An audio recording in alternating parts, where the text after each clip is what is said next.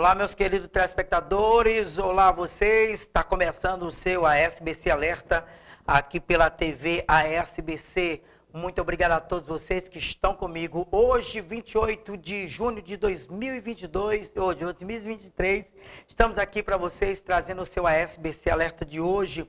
É, eu quero aqui agradecer a cada um de vocês por esse momento, esse carinho maravilhoso de estarmos aqui hoje fazendo o nosso ASBC Alerta desta quarta-feira maravilhosa. Agradecendo a você em nome de BCNet, internet fibra ótica para ti.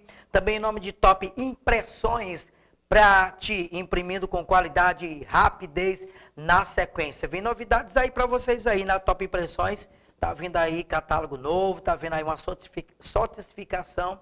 Ixi, eu falei errado. Me perdoe, gente. Estamos aqui, viu, para vocês. Muito obrigado a todos vocês. Olha, ontem eu estive na grande festa da Criança Feliz, da creche Criança Feliz.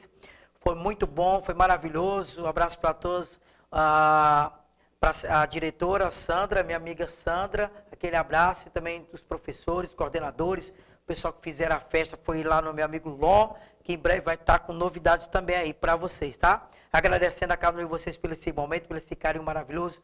Sou Bachambeck, diretor-geral da TV SBC. Quer acompanhar a TV SBC? Segue nossas plataformas aí na, no YouTube, onde nós estamos transmitindo agora, no YouTube, TV SBC. Você assiste no seu smart, uh, no seu telefone, no seu Android, na sua TV Smart. Em breve a gente vai estar na Max e TV, nos Box e TV Box. Você que já pode já solicitar, que já tem a Max e TV, já vai estar tá tudo certo. Alô, Bento, aquele abraço, tá? Se acompanha também na página do Facebook, TV ASBC OFC.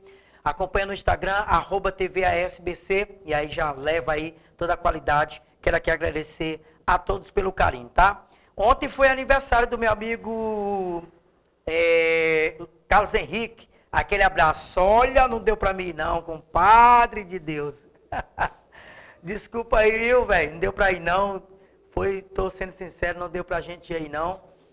Mas logo, logo eu vou estar por aí e a gente vai estar voltando aí fazer esses aniversários, porque não deu mesmo para ir de coração, viu? Me perdoe mesmo, não deu para ir de jeito nenhum, tá? Mas nós estamos aí com certeza. Deixa eu agradecer meu amigo Creano pelo carinho. Alô, Creano. Aí, legal demais. Olha, estamos tentando entrar em contato com o nosso amigo Zé Preá para vir gravar amanhã o programa Nosso Show, que está de cara nova. Preste atenção. Vai ser bom demais, tá? Gente, está começando o meu, seu, o nosso ASBC Alerta aqui pela TV ASBC. Lembrando que esse programa não é recomendado para menores de 10 anos. Tá aí, já soltaram a vinheta. Olha, tá? Nossa classificação não é recomendado para menores de de 10 anos. Já soltou a vinheta aí, tá bom, em cima da minha voz? É isso mesmo, tá? Olha, gente, vamos fazer o seguinte, vamos, vamos trazer nossa primeira matéria de hoje, já vamos levando aqui para vocês. Uma policial denuncia que foi agredida, né, durante um curso é, promovido pela Secretaria de Segurança Pública do Ceará. Isso aconteceu, presta atenção. A investigadora mostrou uma foto é, onde as marcas ficaram no corpo dela, é, no oitavo dia de aula, é, um dos infratores puniu as, as mulheres do curso agredidas é, por uma ripa, foi agredida com uma ripa de madeira. A punição aconteceu, sabe por quê? Após um pedaço de pizza é, que estava no prato do instrutor sumir. Rapaz, em pleno século XXI, meu compadre, e agredir ainda mulheres onde você deveria estar demonstrando é, é uma proteção. Ah, pode até fazer parte do, do, do, do regimento, pode até fazer parte. Não é bem assim. Não é bem assim. Se deu respeito e vai ser punido. Vamos ver a matéria. Denúncia foi publicada pela vítima em uma conta de rede social, que agora tem acesso restrito. Na divulgação, ela expõe fotos com marcas da agressão e relata que foi vítima de um cabo da Polícia Militar durante um curso tático para policiais femininos. e ela destaca: sim, um curso direcionado apenas para mulheres. O curso teve duração de quatro semanas e foi promovido pela Secretaria de Segurança do Estado do Ceará. Seria para a defesa pessoal, técnicas operacionais policiais e salvamento. A vítima está nas Forças de Segurança do Maranhão há 14 anos. No dia 27 de maio do mês passado, ela chegou ao Ceará para participar da terceira edição do curso tático policial feminino, um treinamento, inclusive, que ela já teria feito em 2012. De acordo com o inquérito aberto pela Casa da Mulher Brasileira do Ceará, a vítima contou que o agressor, um instrutor do curso, teria reclamado do do sumiço de um pedaço de pizza e, por isso, puniu as alunas com as agressões. Para isso, ele usou uma ripa de madeira. A vítima pediu desligamento da instrução e retornou para o Maranhão. Tudo isso aconteceu no mês de maio, mas só foi divulgado agora. A mulher agredida tem 53 anos e é investigadora da Polícia Civil do Maranhão. Nós providenciamos a colheita do depoimento é, dela aqui na Delegacia Geral e esse material, juntamente com é, ficha de atendimento médico hospitalar, é, nós encaminhamos para a Polícia Civil do Estado do Ceará solicitando providências. Acreditamos nas autoridades policiais do Estado do Ceará e acreditamos, vamos acompanhar essa investigação e acreditamos que é, vai ser tudo esclarecido e os culpados serão responsabilizados. O caso está ganhando cada vez mais repercussão. O governador do Ceará, Elmano de Freitas, disse em uma rede social que determinou ao secretário de Segurança Pública do Estado apuração rigorosa e imediata do caso, além de apoio e acolhimento necessários à vítima. Disse também que fez uma troca na direção geral da Academia Estadual de Segurança Pública, responsável pelo curso tático policial feminino, que agora é dirigido pelo coronel Kilderlan Nascimento de Souza. Por fim, disse que não tolera qualquer tipo de violência contra as mulheres. Exatamente. Exatamente. Não tem que, tem que tolerar mesmo, não. Tá entendendo? Não tem que tolerar mesmo, não.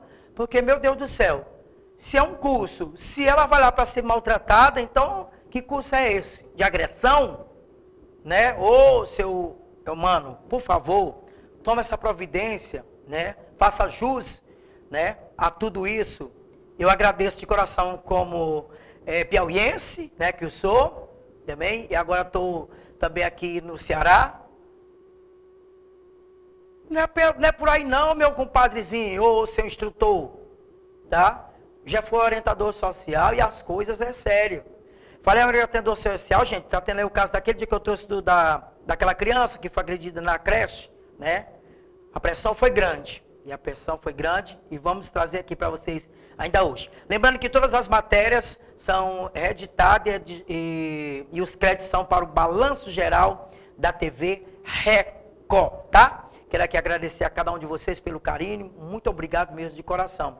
Um amigo, nosso amigo Nailson, ele acompanha sempre o nosso programa e a TV SBC disse, olha, eu estava num, local lá, isso, isso, isso, é que é gostoso. Eu estava lá num, num, num, num, certo local, estava aqui mesmo num certo local, o rapaz disse assim, ei, você é o apresentador da TV SBC. Eu falei, sou. Eu acompanho, viu?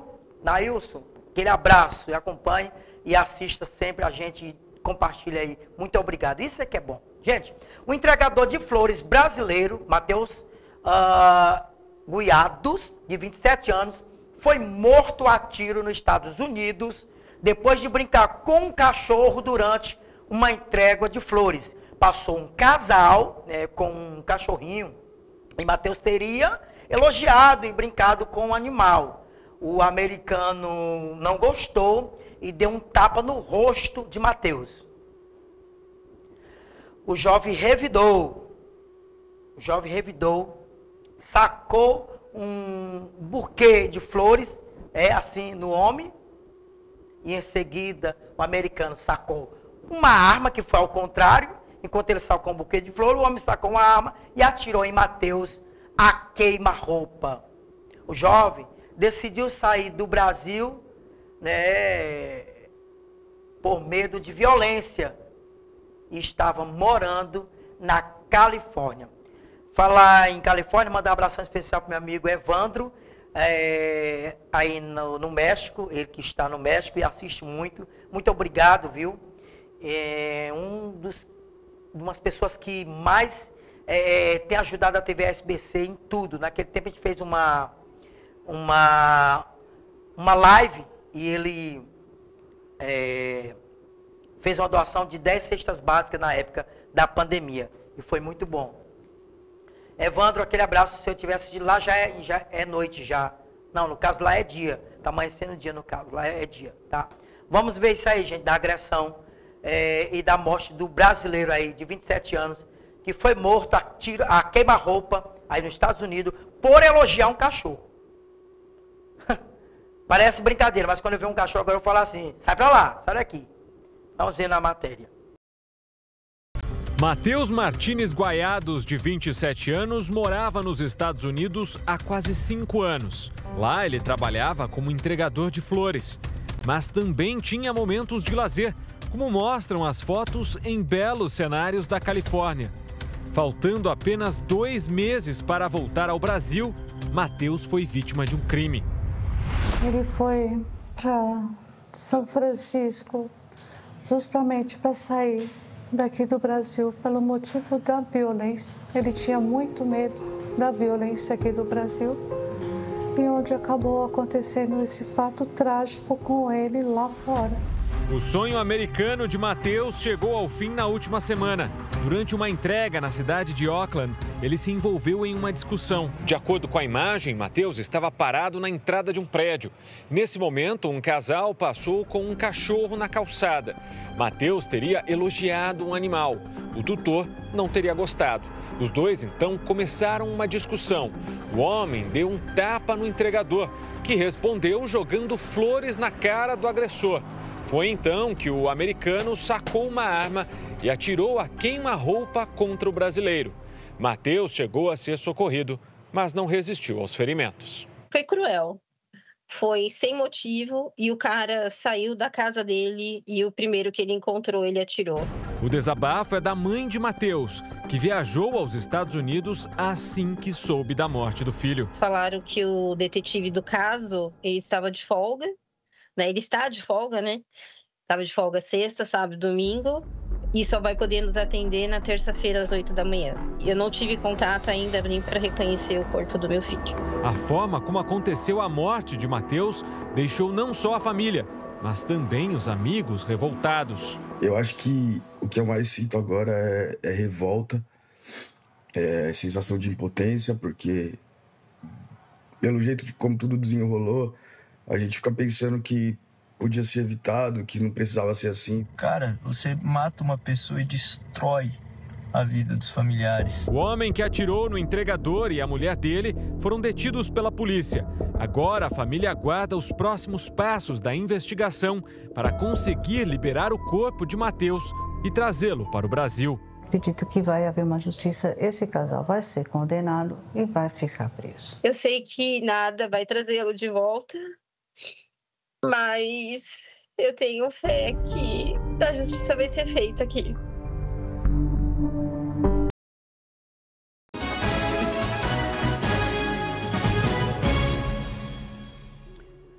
Com certeza, com certeza, a justiça será feita sim, mãe. Com certeza, justiça vai ser feita. Aqui no Brasil também tem justiça e eu espero que.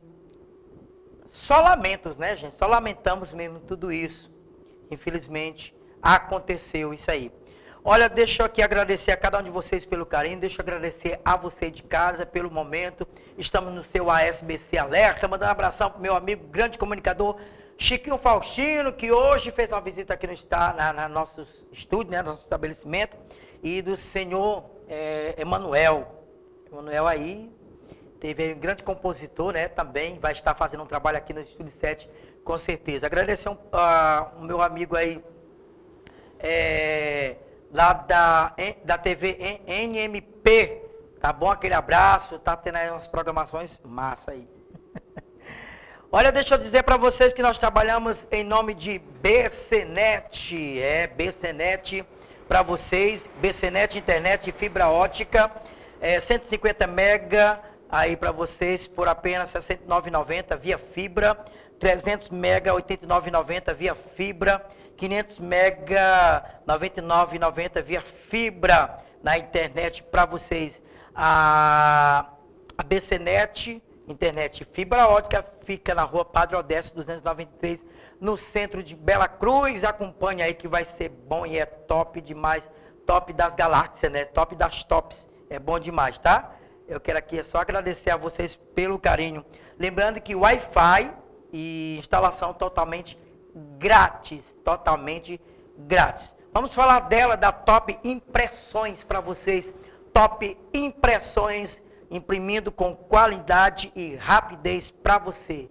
A Top Impressões também fica aí na rua Padre Odécio, uh, número 634, no centro de Bela Cruz. O telefone está na tela. Lá você encontra xerox, boleto, foto 3x4, scanner, impressões preto e branco, papel 40 quilos, 60 quilos, se preferir, impressões adesivo, impressões papel imã, impressão colorida, impressão fotográfica. Lá você tem rótulos, crachás, uh, também convites, agendas, etiquetas, panfletos, cardápios, catálogo, calendário, seg é, segunda via IPVA, canecas, taxas, multas, licenciamentos, certificados, cartões de visita. E lembrando que a Top Impressões também, impressões, impressões, faz o seu design, viu? Logo, logo tem novidade aí da Top Impressões. Deixa eu mandar um abraço especial, sabe para quem? Para minha grande amiga Helena aí do Mercadinho Paraíba. Alô, Paulo, aquele abraço, meu amigo. Paulo aí tá junto comigo nesse exato momento, tá? Deixa eu aqui agradecer meu parceiro de, de palco, Andinho do Piseiro. Aquele abraço, Andinho. Valeu demais, super 10. Viu?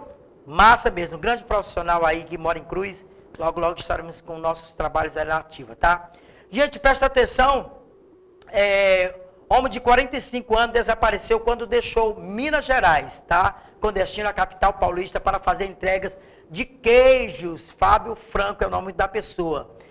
Horas antes de sumir, que ele sumiu, ele enviou à esposa áudios em que revelava ameaças que estava sofrendo de um empresário após atrasar o pagamento de uma compra de 160 mil em queijos. Meu Deus, o cara trabalha, o cara trabalha, faz tudo, faz tudo bonitinho, a pessoa quer compra e ainda fica com essa demanda de não querer pagar, isso é chato. E quando o rapaz vai cobrar, ainda o rapaz desaparece. Isso antes de assumir, de levar tudo. Nós temos os áudios aqui. Vamos trazer os áudios para vocês ouvir.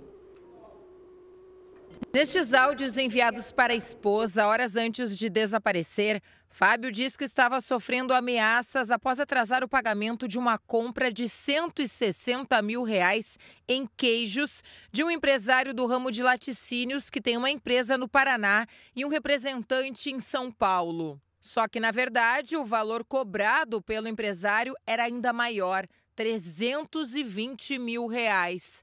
Não, meu amor, o, o que, quem me ameaçou eu foi o Rafael diretamente falando comigo, entendeu? O vendedor.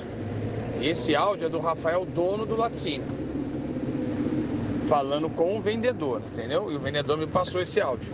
Foi esse áudio que eu passei para o advogado, para o doutor Edson. Expliquei isso para ele. Eu fui ameaçado hoje pelo Rafael Vendedor. Só que esse áudio ele já tinha mandado na quarta-feira, falando, fazendo pressão, falando, ó, o dono da fábrica, é o que ele falou. Vê se arranja dinheiro. Fábio era obrigado a pagar, segundo a esposa, 5 mil reais por semana para sanar a dívida. Quero 5 mil, não vem com 3.500 3.500 não resolve meu problema. Você se vira aí, você se vira, entendeu? E eu quero o cheque amanhã, tudo na minha mão. Todos os cheques, oito cheques que eu vou levar pro laticínio. Não vai fazer palhaçada comigo, entendeu? Eu vou chegar lá e vou, eu vou pegar carro, pegar o que tiver, entendeu? Vou trazer, acabou. Tiver, que tiver eu vou pegar. A ordem do Rafael foi essa que eu não vou pagar tua conta, cara, não vou. Aqui, Fábio desabafa e fala que fez o depósito. Isso aí ontem que ele me infernizou, me infernizou, eu fiz um depósito para ele de 5 mil reais, né? Precisar de 5, 5 mil, 5 mil, 5 mil, me infernizou. Neste áudio, o dono da empresa diz para o funcionário, que também se chama Rafael, que vai colocar cobradores atrás de Fábio. Vai lá e pega. O cara falou esse dia que tinha as coisas para dar e não sei o quê cara é um baita de um nó cego, de um sem vergonha esse cara. Porque para mim ele garantiu uns pagamentos aqui e depois não fez nada. E assim, ó, vamos. Senão vamos botar uns cobradorzinhos bom. Aqueles mesmos que nós já botamos no outro cara lá. E, e daí o cara vai ter que brotar alguma coisa dele. Uma coisinha vai brotar, pode ter certeza. O desaparecimento de Fábio ainda é um mistério. Onde estará Fábio? O que aconteceu com Fábio Franco Puga? A van do entregador de 45 anos foi encontrada abandonada. Nenhuma pista sobre o paradeiro de Fábio até o momento. Ele já ia embora no, no final da tarde. Ele já estava praticamente, ele só tinha mais algumas entregas para fazer e já ia embora. Ele é casado há sete anos e tem dois filhos. A família mora na cidade mineira de São Gonçalo do Sapucaí. Fábio estava acostumado a vir para São Paulo fazer entregas, pelo menos três vezes por semana. Mas depois de uma dessas entregas, desapareceu misteriosamente. Ele passou por algumas dificuldades financeiras e aparentemente a gente pode, a gente desconfia que pode ter sido esse o motivo do sumiço. Por ligação, ele contou à esposa que havia esquecido o cartão em casa para que ele não ficasse sem dinheiro. A mulher então transferiu dois mil reais para a conta do marido e ele sacou a quantia. Foi a última vez que ela teve notícia sobre Fábio. A esposa relatou à polícia que já caiu em um golpe de criminosos. Ela pagou a quantia de dois mil reais a estelionatários na garantia de que eles estariam com Fábio. Fábio deveria fazer mais três entregas antes de retornar para casa em Minas Gerais. Mas não foi o que aconteceu. A família tem pressa que ele volte. Foi através do sinal de celular que a esposa de Fábio encontrou o veículo. O último ponto de localização foi registrado na rua de Anápolis, na Vila Prudente, zona leste aqui de São Paulo. O banco onde ele sacou o dinheiro por volta das três da tarde do dia do sumiço fica a cerca de um quilômetro. Um trajeto que demora sete minutos de carro e 14 a pé. A rua onde a van foi encontrada é na lateral da comunidade Vila Prudente. Dentro do automóvel, a polícia encontrou a CNH, o RG e uma mala de roupas aberta. O que Fábio teria feito naquele dia? Ele veio com a van até a agência bancária e sacou o dinheiro? Ou deixou o veículo e foi andando? Ele estava acompanhado? Encontrou algum conhecido? Será que foi abordado por alguém? Um mistério ainda sem pistas, sem explicações. No boletim de ocorrência registrado por desaparecimento de pessoa, a esposa de Fábio descreve que ele é vendedor autônomo, nunca desapareceu, não tem problemas de saúde e não faz uso de medicações controladas e bebidas alcoólicas. É, gente, o negócio é sério, viu? O negócio é sério mesmo. Vou te contar que é uma situação né, que deixa a família é, meio descontrolada com tudo isso, é, sem saber o que fazer. Já, ela já pagou estereonatários, não sei se eu, se eu falei a palavra correta, e até agora nada. Precisamos investigar isso aí, viu? Pessoal de São Paulo aí. Olha, gente, voltamos daqui a pouquinho para vocês. Vamos no nosso primeiro break comercial e voltamos para vocês em seguida com o seu ASBC Alerta. Voltamos já.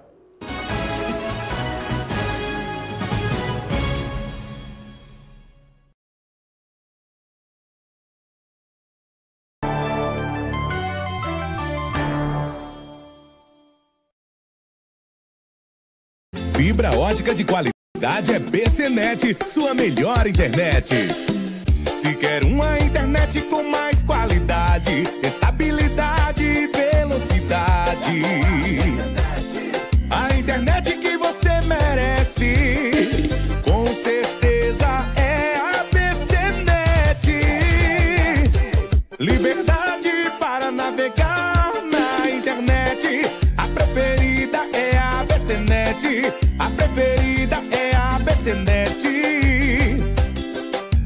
PCNet é você sempre conectado. PCNet está do seu lado. PCNet está do seu lado. Vem BCnet. BCnet está localizada na rua Padre Odécio, número 293, Centro, Bela Cruz, Ceará. Com os telefones 88 99771 0033 ou 99711 4449. BCnet, sua melhor internet. Você que precisa do melhor serviço gráfico, Top Impressões, Xerox, impressão digital, encadernação, plastificação, canecas personalizadas, design gráfico, scanner, cartão de visitas, placas QR Code Pix, cardápios, crachás, adesivos, foto 3x4, etiquetas, panfletos. E muito mais. A melhor empresa está aqui. Top Impressões pelo fone 88996870601. Instagram arroba top underline impressões. Rua Padre Odécio 634 Centro Bela Cruz. Top Impressões. Imprima com qualidade e rapidez. Rapidez. Top Impressões.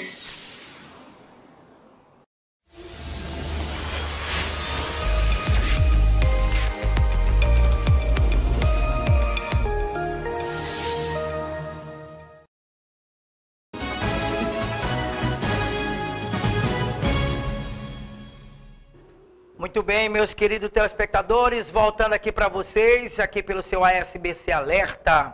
Olha, gente, eu vou trazer aqui um caso, né, que a gente fez semana passada, né? Esse caso aqui é muito sério, né? Que aquela professora fez com aquela criança, no, no meio de todas as crianças, né? E agora eles foram acusado de maus tratos, né? E se entregaram. Por quê? Tanta pressão. A polícia de São Paulo, na noite de terça-feira do dia 27 de hoje, os pais das vítimas acompanharam de perto o momento da prisão hoje, hoje. Você acha que foi à tarde, né? O pessoal do, do Balanço Geral estiveram lá e foram presos de tanta pressão. O que eles fizeram com a criança? Tá? Isso não se faz. Vamos ver na matéria. Após uma longa negociação com o delegado e por não aguentar a pressão e as ameaças a eles e aos familiares, resolveram se entregar. Os pais das vítimas acompanharam de perto o momento da prisão. A gente teve, graças a Deus, a ajuda das professoras e de muitos pais fazendo esse relato. E hoje a gente consegue dormir em paz, porque o nosso filho está salvo, nossos sobrinhos e outras crianças, e que nenhuma outra criança vai sofrer isso de novo por esses dois. Porque não, não tem cabimento dois adultos fazerem uma criança passar por privação de, de comida, de necessidade fisiológica, de ficar em quarto escuro de castigo todos os dias. Isso é desumano. Eduardo e Andréia são acusados de maus tratos e tortura dentro da escola em que são donos no Cambuci, zona sul de São Paulo. E a prisão deles foi decretada depois que uma professora fez uma denúncia e vídeos com imagens de crianças sofrendo violência física e psicológica vieram à tona. Falando que vão se explicar, mas é difícil explicar diante do que foi filmado, do, diante das testemunhas. Então, eles têm direito à defesa deles, vão se explicar da forma que eles acharem melhor, mas os fatos estão aí, eles que respondem agora para a justiça. Ao saírem da delegacia e a caminho da viatura para serem levados ao IML, foram hostilizados com gritos de revolta. Você veio o que vocês faziam? O que, você fazia com a criança? O delegado tem agora 30 dias para concluir todo o inquérito. Vai analisar mais uma vez todo o material e as denúncias e só depois ouvir os acusados formalmente. Pretende também converter a prisão temporária em preventiva. A Polícia Civil fez buscas na escola e na casa da mãe da acusada e apreendeu um celular, vários documentos e também o DVR com imagens de câmeras de segurança da escola que todos devem ser periciados.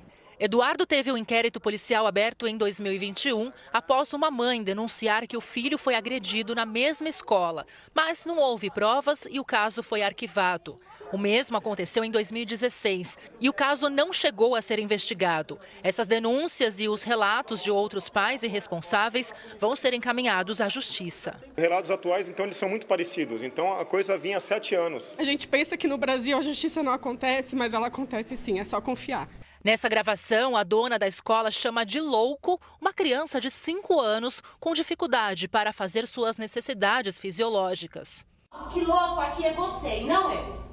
A imagem da criança amarrada com a própria blusa revoltou a mãe, que nunca havia desconfiado do terror que o filho, que tem transtornos mentais, sofria dentro da escola. Eu recebi posteriormente a foto sem o blur dele, e aí eu vi o semblante do meu filho e aquilo caiu para mim como uma bigorna no estômago, né? Esse e outros relatos comprovam crime que o casal vem praticando desde 2016 e não havia provas naquela época. Os traumas que ele causou no meu filho, o meu filho chora quando escuta o nome dessa mulher. Um dia ele vomitou, ele passou mal de tanto que forçaram ele a comer. E aí arrancou toda a roupa do menino, levou ele para a quadra descoberta. Ele ficou tomando chuva, frio. Cenas que causaram dores e traumas a muitas crianças, que na maioria tinha menos de dois anos. Agora os pais estão mais aliviados. Vai ser feita a justiça, né? Sentimento de dever cumprido, de justiça feita e. É isso, gente. Agora presta atenção no que pode vir por aí. Doutor Fábio da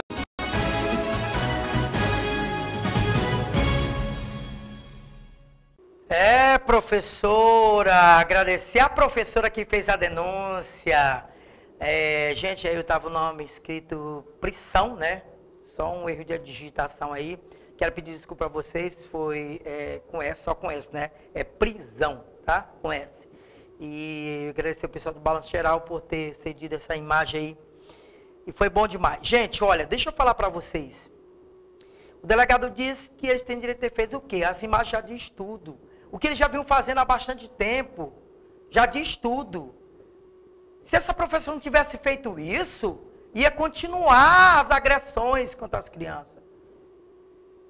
A criança, a, a criança, as crianças sofriam de, na mão de, dessa, dessa, não posso nem chamar de educadora, nem diretora, dessa monstra. E você aí, a gente se revolta.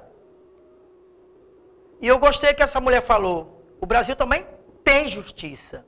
Agora é lenta, mas tem. Agradecer o delegado aí por estar tá impondo e estar tá fazendo isso, que foram presos. Viu com uma pressão humana? Graças a Deus, eu estou dizendo graças a Deus, não. É, é, que ele não cair na mão do, do, da população. Porque se cair na mão da população, já era. Tchau, tchau e benção. Né? Olha, já vamos seguindo aí para vocês, que em nome de Top Impressões para vocês, Top Impressões uh, ah, para vocês aqui na cidade de Bela Cruz, BCNet, internet fibra ótica para vocês totalmente homologado na Anatel, tá? Né? Para vocês aí, muito obrigado pelo carinho. Deixa eu dar um abraço aí para a dona Francisca e Doce da Cida, a dona Francisca aqui na rua Professor Nicásio. Ela é ótima. Alô, ô Marlene, aquele abraço, viu? Valeu, é aquela encomenda tá show. Valeu, gente. Olha, gente, vamos continuar né, para vocês as frequentes brigas em uma escola estadual na zona leste de São Paulo, norte de São Paulo aconteceu. Tem assustado pais de alunos e professores. Imagens também mostram é, uma aluna de 15 anos sendo brutalmente agredida por outras adolescentes. Adivinha por quê? Por bullying. Gente, isso tem acontecido. Estamos em pleno século XXI. Esses adolescentes, eu não estou aqui generalizando, mas pelo amor de Deus, eu acho que são donos do mundo, acho que são isso e aquilo. Não fazem isso. Ouçam, ouçam seus pais. Os pais, dê uma olhada mais nos seus filhos. Preste atenção o que está acontecendo. Olhe com o que eles estão conversando, o que eles estão planejando em turminha, tá? Na minha época era muito bom, sabe? Aquela coisa de escola. Eu ia, queria ir para a escola, aquela coisa. Mas hoje em dia está errado. Está errado. Que educação é essa? Se isso e aquilo e mas não se faz jus. Pelo amor de Deus. É o contrário dessa outra aí. É o contrário. Né? Mas não estou dizendo aqui generalizando para ninguém ir agredir aluno, não. É ter uma conversação, é educação. Se tem em casa, converse com seus filhos, fale com seus filhos primeiro, tá? Dê orientação em casa. Lá na escola é um complemento. E professor não é pai de aluno e não é para ficar tentar não. Porque se eles tentar, no outro dia está morto, no outro dia está tá os pais lá agredindo. Entendeu? Depois cria teu filho, presta atenção, tome vergonha na cara. Vamos ver aí a matéria. Mostra uma estudante sendo violentamente agredida. A briga é interrompida, mas a discussão não para. De repente, uma das adolescentes joga uma caneca de leite na roupa da outra. É o suficiente para as agressões voltarem. A estudante de blusa preta recebe vários socos até ser jogada no chão.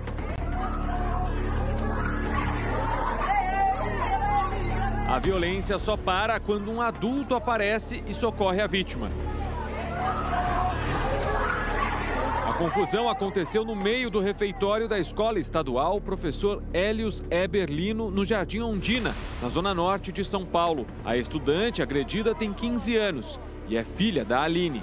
Ela denuncia que no dia da briga, a adolescente ligou para ela desesperada, pedindo socorro. Ela falou: Mamãe, corre, eu estou toda arrebentada na escola, vem. E nisso eu desci até para cá, para a escola. Cheguei muito nervosa, não vou mentir. Entrei na escola nervosa. Imagens mostram a mãe visivelmente alterada discutindo com os alunos. Em outro momento, ela invade a aula de um professor cadeirante na busca pelas agressoras. Uma professora acabou contendo a Aline.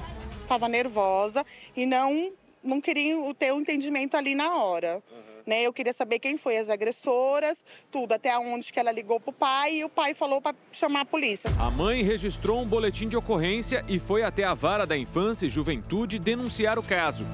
Desde que as agressões aconteceram, a estudante permanece em casa, muito abalada. Ela não quer voltar, ela chora, depois dá o fúria de raiva nela. Ela tá desse jeito, ela não quer voltar e ela não vai voltar para essa escola, porque não tem condições da minha filha ficar aqui. Segundo a Aline, a filha foi vítima de bullying, sofria provocações por causa do peso. Foram dois meses de ofensas até o dia das agressões. E esse caso de violência não foi o único. De acordo com os pais, tanto dentro da escola quanto aqui na rua, as brigas são constantes. Imagens que o Balanço Geral Manhã teve acesso mostram uma confusão do lado de fora da instituição de ensino. Tudo começa com uma discussão tensa. Logo acontecem os primeiros tapas. A cena se transforma numa briga generalizada.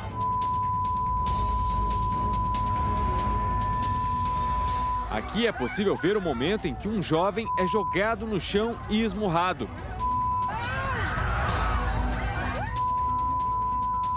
Eu moro aqui na esquina, eu vejo diariamente eh, brigas, entendeu? Eu desço, tento separar, entendeu? Porque os funcionários da escola, eles, eles colocam os alunos para fora, entendeu? E a briga continua aqui fora. Parece uns vândalos.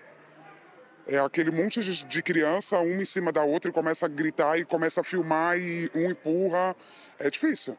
Pra gente que é mãe, é difícil. Eu dou graças a Deus que é o último ano dela aqui. Os pais irresponsáveis acusam a direção da escola de omissão em relação aos problemas de violência. Eu é, chamei viatura várias vezes, tendo a briga, eu tenho que separar e chamar viatura. E quando a gente vai é, denunciar para alguém da escola, eles falam que está tudo resolvido e não está. Questionada sobre as constantes brigas na escola, a Secretaria da Educação informou que uma equipe está acompanhando a unidade para intensificar estratégias de mediação de conflitos entre os alunos. Que a direção se posicione em relação a esses ocorridos. Papel não adianta não, tem que tomar atitude. Atitude. Senão não vai mudar. Você tira o seu filho da, da sua casa para mandar para a escola, para ele aprender. E o que, que eles estão aprendendo aqui? A fazer guerra? A fazer briga? Um, um xingar o outro? Não, isso não é vida. Você quer um ensino melhor para seus filhos e aqui não tem.